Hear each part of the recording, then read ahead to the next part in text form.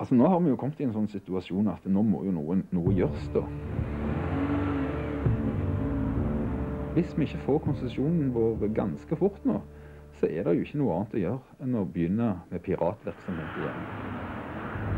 Et godt sted ligger høyt og har utsikt til mange potensielle seere. Hvis eh, vi står overfor et mobilt, en mobil sender. da har vi jo et lite problem, da. Og, og da kan det bli aktuelt, vil jeg tippe på, i ekstreme tilfeller, å tilkalle forsterkninger. Det var jo sånn de jobba under krigen òg, for å finne disse her eh, sabotørene. Like så viktig som uh, plasseringen høyde er det vel egentlig òg å ha mulighet til å komme seg vekk. Kan du kjøre norske? Ja, kan få kjøre forbi Gisperstua eller Kristiansand Dega? Ja, det som fremgår denne kringkastingsloven, det er bøte eller fengsel inntil seks måneder for overtredelse av denne loven. Det ideelle sendestedet det har mange fluktveier og ligger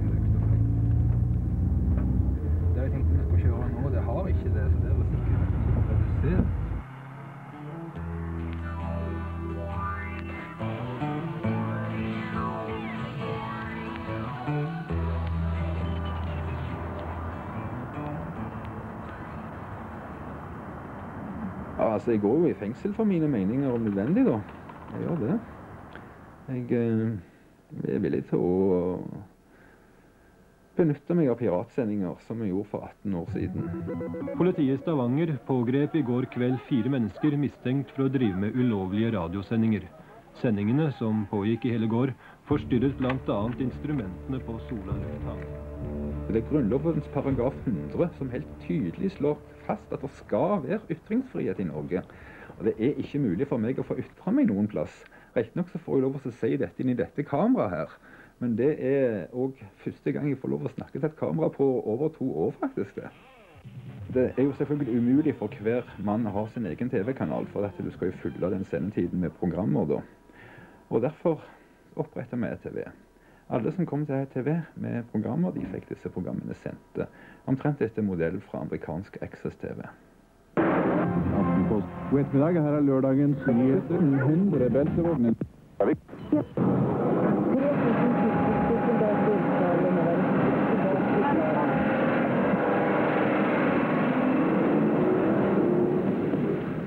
Vi pleier å si det sånn Velkommen til en velfortjent hvil, ETV.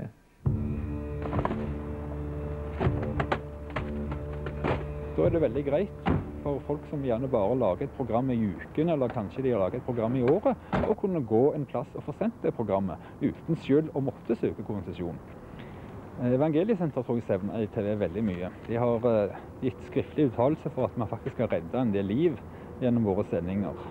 Det er jo deres programmer vi har sendt, da, men uten ETV så hadde de aldri blitt sendt. Og folk som da har tenkt å begå selvmord, har da ved to anledninger, sier de, ombestemt seg etter å ha sett programmene på ETV.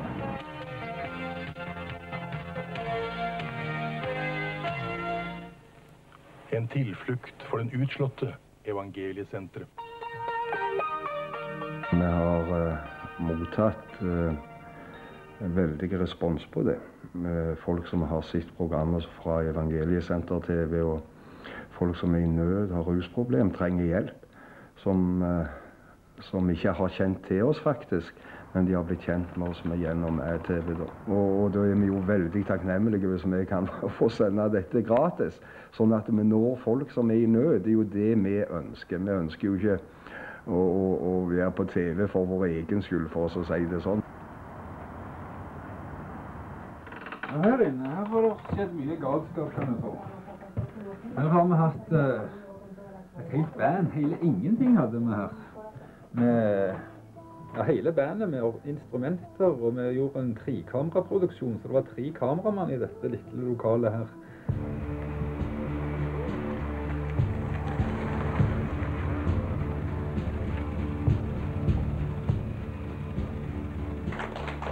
Tusen takk for vakre ord fra Arild, og ønsker de velkommen tilbake med en senere anledning. Hjertelig velkommen. Det er en belastning. At eh, min seriøsitet skal bli redusert pga. at jeg sender programmer som andre har lagd. Pga. at jeg velger å sende programmer. For det om eh, vi velger en annen kvalitetsstandard enn det NRK gjør.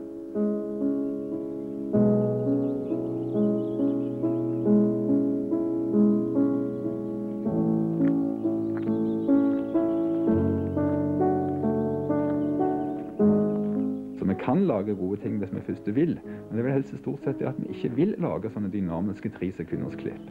Vi vil ha litt lange klipp. Vi vil at folk skal få lov å snakke ut. Vi vil ikke klippe sånn sannheten.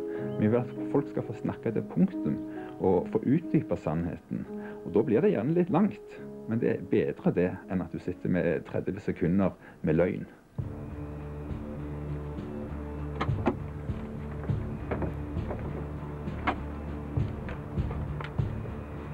Vi søkte jo konsesjon umiddelbart etter at vi ble fratatt den gamle. Og vi har purra noen ganger. Sist gang for over ett år siden. Jeg har ringt en del ganger. Det kommer aldri noe svar fra Statens medieforvaltning. Så de trenerer saken og nekter eh, å besvare telefonen.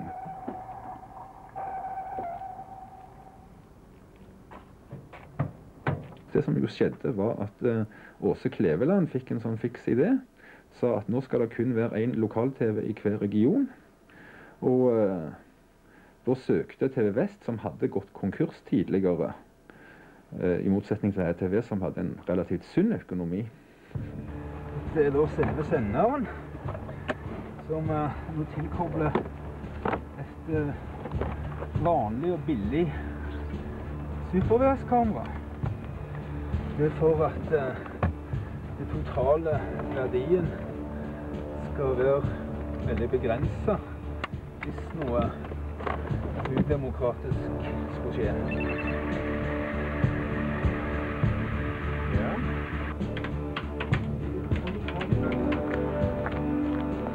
Hvis uh, plutselig TV Vest begynte å stille seg åpen til å motta innslag fra absolutt alle, at til og med jeg kunne komme med der med en teip og få den sendt, så tror jeg nok at interessen min for å drive og kjempe mot monopolene ville være veldig redusert.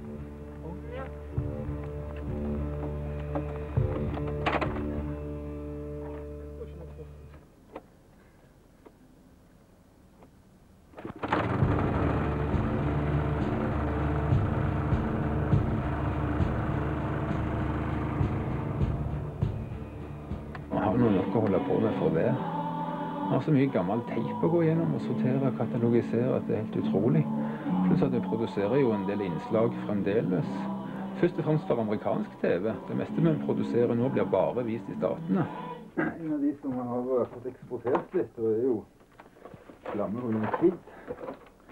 Den er da Dette er fra Aftenbladet, og det er VG. Og Rogalands Avis. Det suksess i USA. Millioner har sett Flammehunden Kid.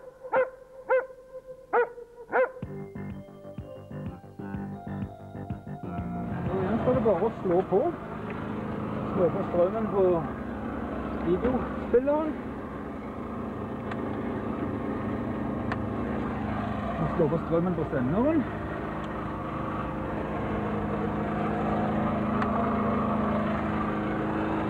Så kan vi starte et program som har noe å spille inn etter.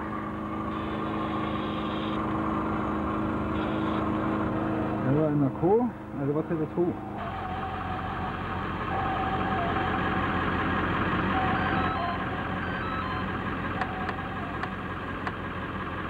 Det var TV Norge, og der er TV. Ja, det kribler jo alltid litt i magen. Det medfører jo alltid en viss risiko å sende pirat-TV. Så eh, det er klart, jeg har jo alltid en viss nervøsitet for at noen skal komme og kjøre opp veien her, da. Nei, ytringsfrihet er for viktig til at du ikke skal ta sjansen. Og jeg syns jo at offeret er ikke så stort, da. Og det er litt slit, altså. Det er klart det er en belastning, men uh, sånn i forhold til utbytte så er ikke offeret for stort. Straffen er ikke streng, men bøtene er høye. For å si det sånt. Men så er det jo dette her med at vi skal følge våre lands lover. Men så, så vet jeg fra Bibelen at det hendte at, eh, at disiplene òg brøt loven. Og, og når fariserene skulle ta dem, så forsvarte Jesus dem. Så eh, Jeg går ut ifra at eh, hvis jeg skulle bli fengsla, at Amnesty International har tenkt å engasjere seg i den saken. Så eh, jeg regner ikke med at de blir sittende inne i fengsel så veldig lenge. Men tar gjerne sjansen.